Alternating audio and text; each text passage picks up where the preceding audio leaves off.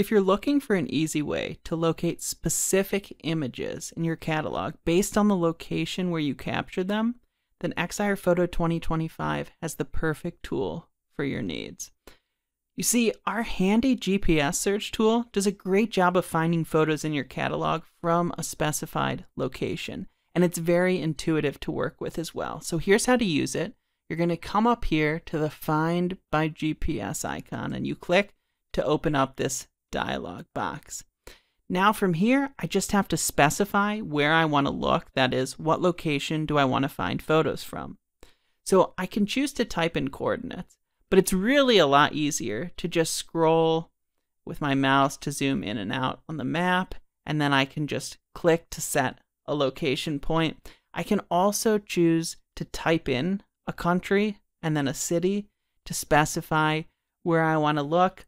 Um, and I also want to mention you can increase or decrease the radius the Excire will look within, and then that will give you images from a very narrow uh, radius, very narrow area, or a much broader one.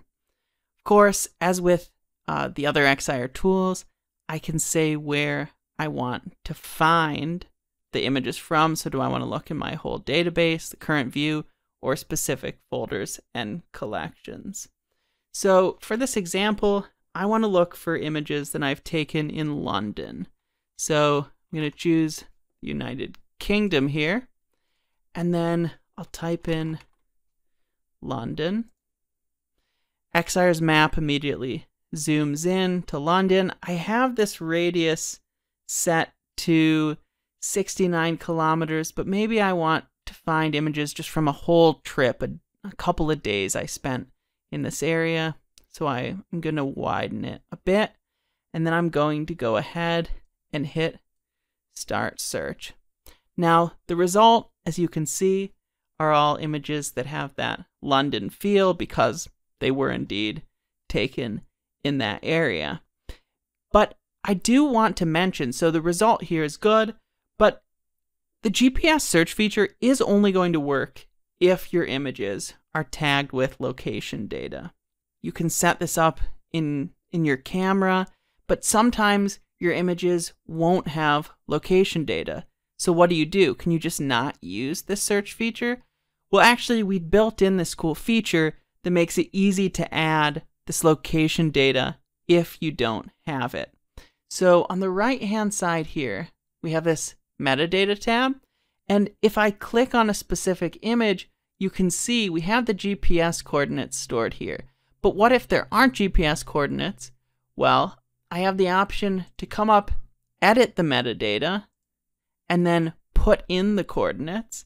Um, and even more easily, I can actually choose to copy the GPS metadata from an image and then paste it. And if I want to, so say that I had taken all these images in the London area and they didn't have GPS data.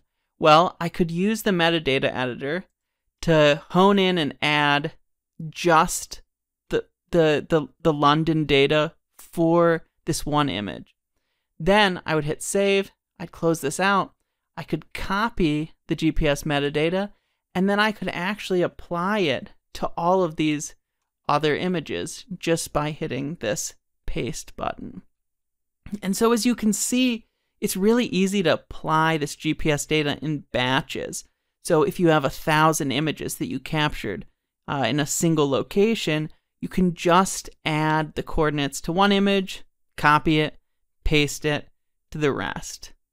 And that is just a simple way to get your images location tagged and then to find them based on location data down the line.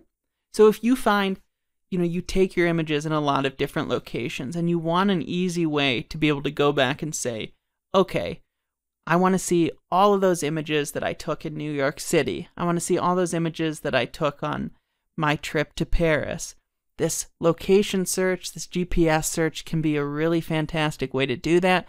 And since it allows for all this fine tuning where you can increase and decrease the radius. It can be really useful for honing in on specific areas and finding specific photos or looking at broader batches of images from a location.